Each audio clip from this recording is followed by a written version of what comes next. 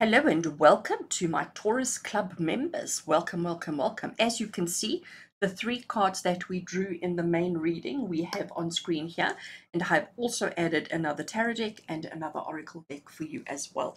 So when we looked at our three, just to do a quick recap, Taurus, when we looked at the three cards, it was clear that there was a decision that needed to be made. Okay, so that was the the the two of wands. That was the first one that came through, saying to you that you've got quite a big decision to make, and you've been pondering and thinking and it's it's often when this card comes up it's often a decision of do i stay as i am currently or do i move on to bigger adventures better adventures or other opportunities? Okay so it's a do i stay or do i go kind of decision. Here we have the three of cups which is the celebration card and the three of cups is saying celebration joy happiness it means that whatever decision you make is going to be a good one for you. It's going to be one that's going to sit well for you and bring you happiness and joy in your life and then we, the oracle card we drew was the lion. And the message from the lion is to be balanced with your responsibility. So what we were saying there is that, you know, the decision that you make, we need to bring our heart space into it. We need to bring our soul into it. We need to do what brings us joy while factoring in our responsibilities, but not allowing the responsibilities to weigh too heavily on the decision. We need to factor them, sure, but we need to be balanced and bring our happiness, our joy, and our heart space into it as well. So that, that in itself is quite a good message. But let's now have a look and see. So with regards to this decision, what else does Spirit need you to know? Let's draw. We get the Eight of Cups. Oh, wow. Okay. So Taurus, it looks like the decision has been made for you. Okay.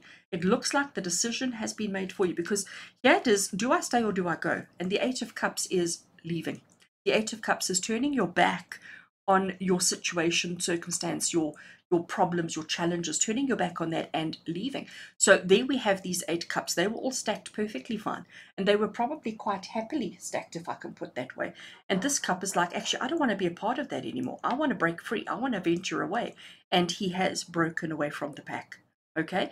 So I think this is telling you that the decision has been made that you need to move on whatever the whatever's pondering you whatever's sitting on your mind whatever's weighing heavily on you at the moment I honestly think this Eight of Cups with this decision card is telling you that it's time to start moving towards breaking away, stepping out on your own, and moving on to other adventures. Remember, it's going to be good. It's going to be great. Okay. We're not taking risks here. We're not being silly here. We're not, um, you know, just uh, uh, um, being spiteful, if I can put it that way. You know, this is something that you've been pondering for quite some time. This is something that you've been thinking about for quite some time.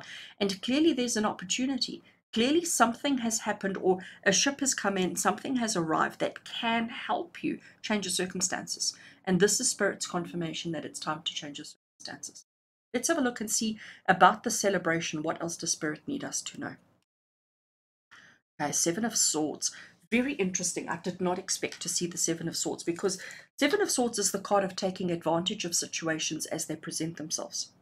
But I suppose taking advantage of opportunities as they present themselves to bring you joy.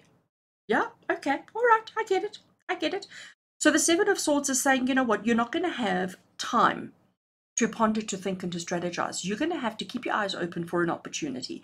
Keep your eyes open for an offer. Keep your eyes open for a something. And when it presents itself, like boom, take it and run with it. No overthinking it. No, like, okay, well, let me sleep on it. Basically, this is telling you you've been sleeping on it for too long already. All right. So when the opportunity presents itself, you must literally just go for it. You must literally just jump in and go for it and not over, not worry about it. All right. Not worry about it.